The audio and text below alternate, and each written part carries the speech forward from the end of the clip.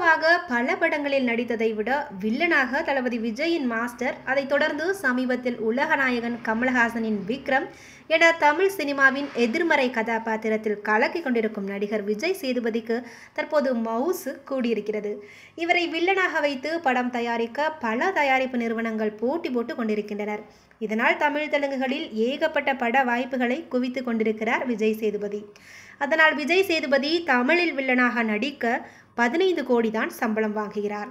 இப்படி தமிழ் தெலுங்கு படங்களில் மட்டுமல்லாமல் பாலிவுட்டிலும் வில்லனாக விஜய் சேதுபதி மிரட்டப் போகிறார்.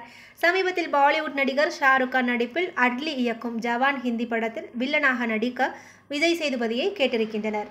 தமிழ் ஹிந்தி தெலுங்கு கன்னடம் மலையாள மொழிகளில் ஜவான் படத்தை தயாரித்து கொண்டிருக்கும் ரெட் சில்லி தயாரிப்பு நிறுவனம் விஜய் சேதுபதியை அணுகி உங்களுக்கு சம்பளம் இருபத்தைந்து கோடிகள் தருகிறோம்.